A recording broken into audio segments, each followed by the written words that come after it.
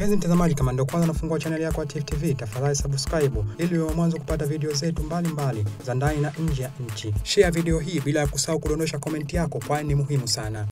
Ningependa kutumia nafasi hii kuwakumbusha wanasiasa kwamba uhuru wa kusema ni haki muhimu katika kukuza demokrasia nchini, lakini haki hii lazima itekelezwe kwa uwajibikaji, kwa kuzingatia umuhimu wa kudumisha amani na utulivu na utawala wa sheria nchini.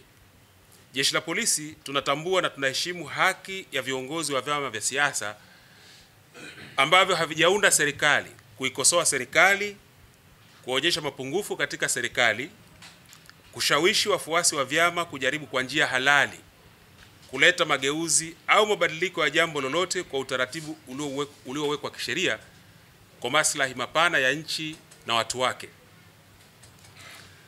Lakini pia ningependa niwakumbushe wanasiasa kwamba uhuru wa kusema haujumuishi haki ya kushambulia faragha za wapinzani wa kisiasa au mtu yoyote yule.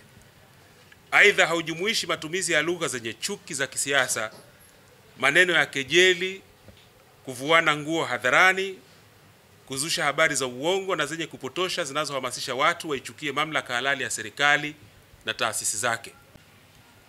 Rai yangu kwa viongozi wa vyama vya siasa, watumie haki yao ya uhuru wa kujieleza, kwani ndio msingi wa demokrasia, lakini watambue wanawajibika kisheria, wanawajibika kwa wanachama na wafuasi wao, lakini pia wanawajibika kwa jamii kwa ujumla. Hivyo lazima haki hiyo itumike kwa kuzingatia mipaka na bila kuathiri haki za watu wengine. Viongozi wa kisiasa hasa wenye nia njema na nchi hii wanaweza kuingia katika mijadala mikali ya kisiasa yenye nia ya kuijenga nchi na kukosoana bila kutumia matamshi yanayoweza kuibua hisia zinazoweza kuhatarisha amani na utulivu nchini.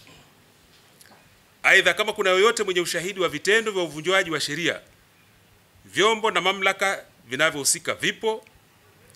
Hivyo rai yangu vipewa nafasi ya ush na ushirikiano ili vifanye uchunguzi kwa mujibu wa sheria badala ya kutumia majukwaa ya kisiasa kuwaaminisha wananchi mambo ambayo hayajachunguzwa na kuthibitishwa. Natoa maelekezo yafuatayo kwa makamanda wa polisi wa mikoa yote na vikosi hapa Zanzibar.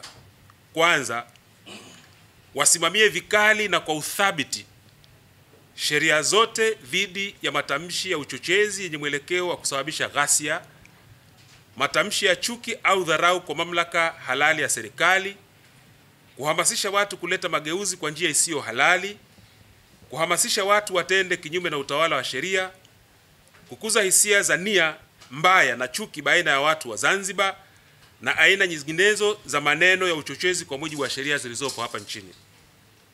Mbili, kwa kutumia mpango wa ushirikishaji wa jamii na kwa kushirikiana na wadau wa amani, watumie fursa hizo kuelimisha umma kuhusu hatari ya matamshi ya uchochezi, uzushi, dharau na kejeli dhidi ya watu binafsi na mamlaka halali ya serikali kwa usalama wa nchi. Aidha, waelimishe jamii umuhimu wa kuendesha mikutano ya kisiasa kwa njia ya kistaarabu yenye heshima na kuheshimiana.